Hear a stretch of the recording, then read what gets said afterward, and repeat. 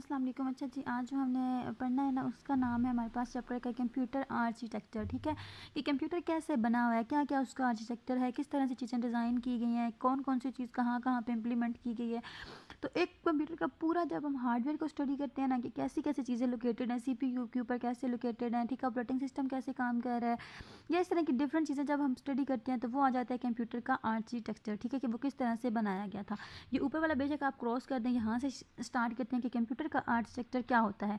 A computer is a combination of various components बहुत से components मिलकर कंप्यूटर को बना रहे होते हैं। These components these components perform different function ये डिफरेंट फ़ंक्शंस परफॉर्म कर रहे होते हैं। All component work together and communicate with one another हर एक जो कंपोनेंट होता है, वो एक दूसरे के साथ जुड़ा हुआ होता है और कम्युनिकेट कर रहा होता है, इकट्ठे वर्क कर रहे होते हैं। The way in the in which these components are connected with one another is called computer architecture कि ये कंपोनेंट किस तरह से आपस में जुड़े हुए हैं, ये हम लोग इसके अंदर स्टडी करेंगे कंप्यूटर आर्किटेक्चर के अंदर। Different component of computer architecture are as follows तो बहुत से कंपोनेंट्स हैं, उसमें हम सबसे पहले पढ़ने लगे हैं कंट्रोल यूनिट ठीक है कंट्रोल यूनिट हमारे पास क्या होता है? Control unit is an important component of CPU के ये सीपीयू के अंदर काम कर रहा होता है। It at like supervisor computer जैसे सुपरवाइजर होता है जो सारी चीज़ों को सुपरवाइज कर रहा होता है। क्योंकि इसके नाम में भी कंट्रोल यूनिट है तो ये सारे यूनिट्स जो होंगे ना, इसके इसके अंडर उनको कंट्रोल कर रहा होगा। It control all activities of computer ये सारी एक्टिविटीज़ को देख रहा होता है। It perform the following operation it fetch instruction from main memory सबसे पहले जब कंप्यूटर को कोई इंस्ट्रक्शन चाहिए होती है कोई हदायत चाहिए होती है तो वो कहाँ से मेन मेमरी से ये उठा के लाता है?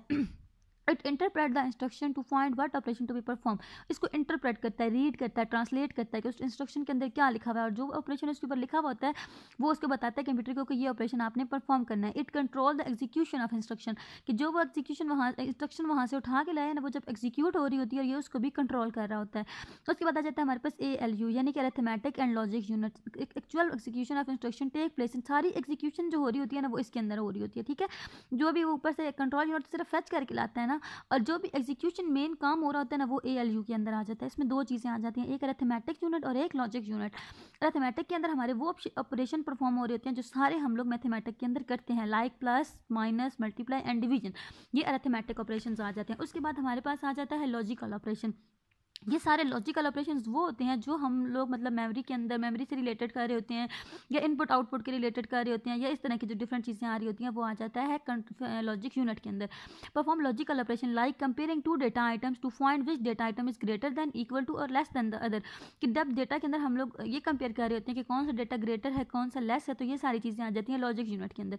अच्छा जी, उसके बाद हमारे पास आ जाता है मेन मेमरी मेन मेमरी आपको इसके नाम से समझ आ रही है कि मेन मेमरी यानी कि most important component of computer it use to store program and data that are being executed ये सारे उन प्रोग्राम्स को स्टोर भी कर रहा होता है और उनको कंट्रोल भी कर रहा होता है जो हमने एग्जीक्यूट करवाने होते हैं. It is also known as working area of computer कि इसको वर्किंग एरिया इसलिए भी बोलते हैं क्योंकि सारा काम जो भी होना है, जो भी इंस्ट्रक्शन आपने रीड आउट करनी है, वो सबसे पहले आप कहाँ से उठा के लाएँगे? मेन मेमरी से.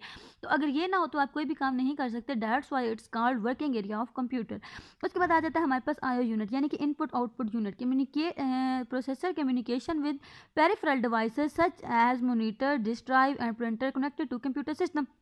कि इनपुट आउटपुट जिन डिवाइसेस के थ्रू भी हो रही होती है, उन्हें हम बोलते हैं पेरिफेरल डिवाइसेस और ये इन सारी चीज़ों को कंट्रोल कर रहा होता है। फिर आ जाता है bus interconnection bus interconnection is also an important component of computer system और computer system consist of C P U main में and I units the component आप have to be connected to transfer data from one other one to another the use of buses to connect the components is known as the bus interconnection के ये सारे जो components होते हैं, ये तारों के थ्रू एक दूसरे से जुड़े हुए होते हैं। तो उन तारों को या उन वायर्स को हम लोग जब अपने कंप्यूटर की लैंग्वेज में बोलते हैं तो वी आर का we are called bus interconnection हम उनको एज अ होल पढ़ते हैं कि हम ये कर रहे हैं बस इंटरकोनेक्शन ठीक है?